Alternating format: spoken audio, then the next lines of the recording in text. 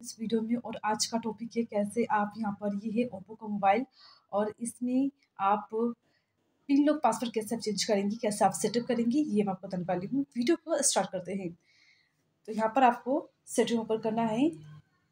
Password पे open कर लेंगे या पासवर्ड का ऑप्शन है ओपन करेंगे। स्क्रीन लॉक पासवर्ड पे क्लिक करना है। और यहाँ पर कंटिन्यू का ऑप्शन है फाइव सेकेंड का काउंटिंग है, उसके बाद ये ओपन हो जाता है, इस पर क्लिक करेंगे। और यहाँ पर आपको फिर से use a different type password पे क्लिक करना है। तो यूज़ डिफरेंट टाइप पासवर्ड पे क्लिक करेंगे। उसके बाद फोर डिजिट एंड भी आपको और भी डिजिट का ऑप्शन मिल जाता है, इस पर क्लिक करेंगे। फिर से आपको यहाँ पर पासवर्ड सेटअप कर लेना है। उस पर क्लिक सेव पासवर्ड आपको दोबारा ड्रू करना है।